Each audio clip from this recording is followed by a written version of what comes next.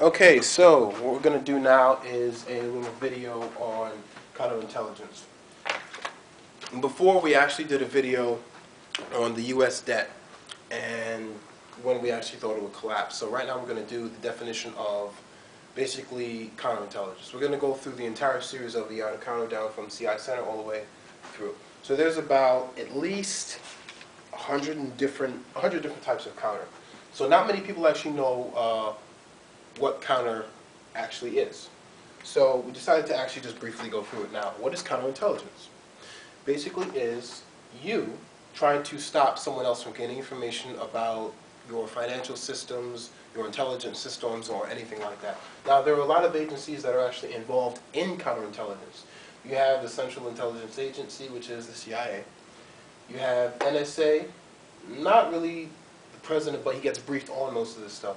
You have Secret Service that's in that. You have Homeland Security, Department of Defense, uh, FBI, and not really. They might be in that. Uh, DEA.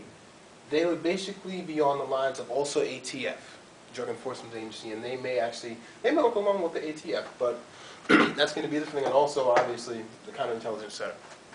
Now, decided to actually put up a little diagram here, uh, which I actually had before you guys came in. So this is just an example. I'm not going to pick on anyone right now. But let's say we just made up a little country right now. This country is you. You don't have to live in America, but it's just an example. So this is America, right here. And let's say you're in this country, and this is your department right here. That's your little department.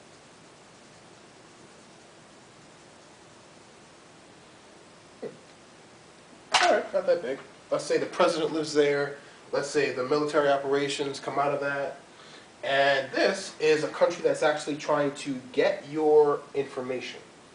So your information is here. They want to bring it back over here and find ways to actually put moles or basically blackmail people inside the department. So we're going to leave, we're going to put a little capital or so right here.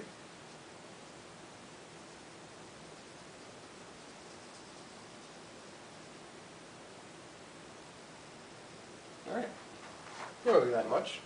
Okay, so we're gonna, this is just an example of how another country would actually try to get into where you are now. Now, if you're in business, you could also use this from other companies actually trying to take your information, and things like this are actually going to happen in the business world all the time.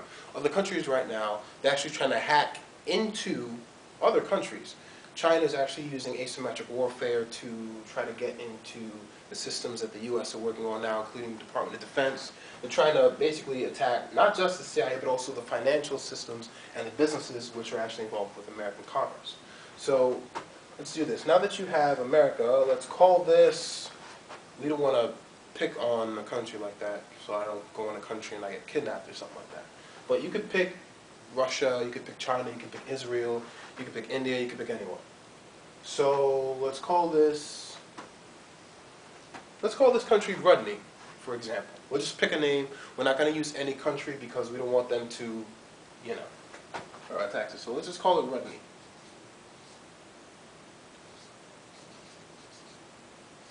Rudney. All right. Yeah, it's just a country. Um, all of them are first world countries. They have computers, they have technology, and they know what they're doing. Now, let's say that our country right now, which we're in America, we actually do deals with Rudney. So what do we do? Our businesses that we have in this country are also going to operate in this country, and their business is just the same. The U.S. has business in Russia. The U.S. has business in China. Also, on top of that, China has business in the U.S. You constantly hear people talking about, oh, we're buying too much from China. The U.S. debt is actually increasing. Well, even though that is true, which it is, if you actually look at the dollar stores in the country, most of the products come from China. It's true. Is it a problem? It depends how you look at it. If the products that are actually made in another country come over here, we have to pay a certain price. And if they're over here now, we're going to end up paying a bit more and actually charging for the people working here. So this is Rodney, this is America. Now, what happens if Rodney wants to get into our system? So everyone has computers, everyone has technology. They want to get into our systems. We have to imply counterintelligence. Now, here is where it gets a bit tricky. You have what everyone has computer technology. So we'll just put let's just put the computer tech. Okay, that's an asset. That's something that you have that you can use as an attack and as a defense. So, now that you have computer tech here, not tech, let's put computer tech, computer tech here, you need to find a way to actually stop the people from getting your information. What can you do? There's a long list of things you can do. Even from sending people into their country to turning their people. Now, it's actually called when you turn an agent. When you turn an agent, you basically end up, you can blackmail that person, you can pay that person, that person can be someone who's been in that company for 15 years and hasn't had a raise. And you can come along all of a sudden, give them $15,000 and they can just destroy that country. That person could even be custodian, for example. Let's say there was a custodian in Langley. I'm not picking on them. I'm just saying, actually, yes, I am picking on them. Let's say the custodian in Langley. And he had the opportunity to pick up these stack of papers that didn't belong to him. And instead of shredding them or throwing them out, he kept them. He realized, wait a minute, I could sell this to Rodney. What would he do? If he never got a raise, if this guy was working on the job and it happened, what is he going to do? He can go ahead and sell it to Rodney. Now what's going to end up happening? Let's say he contacted uh, one of their embassies or something like that. He's like, hey, you know what, I'm a friend and my friend works at such and such place and knows a friend here. The guy said, okay, uh, we'll meet. I'll send one of my agents to meet you.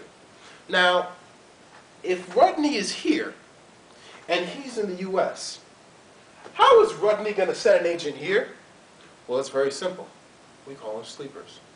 A sleeper is basically someone who is working for this country or company, country for example, and they're here. Basically, they're waiting to get a job. So they could be living in hotels, they could be living in cars, they could be living anywhere. And that once that person gets activated or that person is reassigned to a job, they go there. So what happens is the custodian, let's call him, let's call him Bob. Even if you're Bob and you're a spy, don't take this the wrong way. Let's say Bob, who worked here, got the stack of papers, and he met the agent, and he met the agent here. And he traded the information the person basically uh, calls back to headquarters at Rodney and says, hey, I got this amazing information. It's worth a lot to us. How can I get it to you guys? And the person says, okay, that information is good. Let's pay the guy. He pays the guy $5,000 and says, hey, if you can do it again, if your friend can do it again, have him do it. We'll pay him a little bit more. So what's he do? He goes back. He goes back to his job, gets more and more information. Now, what happens when you have a person who's constantly pulling out information? So Bob works here. Bob is constantly pulling out more information from them. So what do you right now have? Right now you have a leak. A leak is someone who is pulling out information from one place and giving it to another party. And that is not their job. He's a custodian. All right, his job is to clean up the dirt, sweep him off the floors. Yet, a lot of people don't understand. Custodians have access to the rooms. They have access to so much information. Is that a good thing? In a way, when they're supposed to be cleaning, but not when it comes to company or country security. Remember, a custodian can go into any room, can even go into the private rooms and the lock rooms. They have a key for the whole building. Some of them can actually even get in your cars and pull out papers. You were in the parking lot, you forgot your keys, they're locked in there. The custodians, they actually have these tools and some wire hangers. They can bend a wire hanger, put it through the window, and actually unlock a car. So the real question is, should you only trust your employees or the custodians? And you have to be careful about who you pay. That's one of the problems we actually have. So, let's get back to it. Bob works here, now they have a leak. Bob is a leak. But they don't know it yet because he's a custodian. Bob takes that information, constantly passes it to Rodney or Rodney's agent. One of Rodney's agents mails it and brings it back there. Now, is it a good thing? It's a good thing for Rudney. They got more information on these people right here. Now, how do you stop Bob? Okay, let's let's make his name Bob.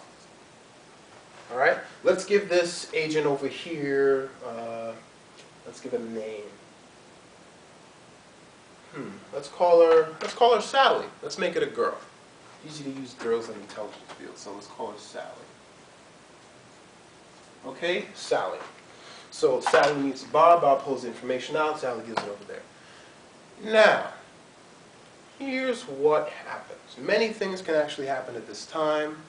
Uh, borrow your pen. Borrow your uh, pen right there. Okay, so. So what happens? They pull information out, and you have the whole thing. So, you want to be able to stop this counterintelligence. Basically, you need to find out if you have a leak. Lie detection, annual tests, drug tests, everything you actually can. If they have a leak, they're going to try to find a way to stop that leak. What do you do? You find out the leak.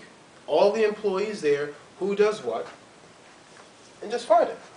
So that's basically counterintelligence, stopping someone from getting information. Now, Bob has access to the information, but how does this agency stop Rodney from getting the information? You stop Bob. Very simple. You have to be able to trust your employees and test them. Let's say Bob slips up and they find it. Now they want to stop Rudney from getting information. How do these guys right here stop Rudney from getting information? They have to stop Bob. And when you stop Bob, you stop the leak. Very simple. All right? So you stop Bob, you stop the leak. And that's what basically counterintelligence is. Stopping it. Once you find Bob, you're good to go. How do you find Bob? Bob is going to slip up one day. Remember, Bob is getting a bit old. He's tired on the job, but he's going to make this his second job. And he's going to start slacking off and doing a couple of things suspicious. Okay? Now that Bob does this, he may slip up once or twice. He might let it go, but when it comes to the field, he could be giving out continuity of government projects or the national framework for the NSA, which you don't want them doing. So counterintelligence, stopping these people from getting your information. Stop Bob, you stop the leaks. Okay? All right, so I'm going to stop us here.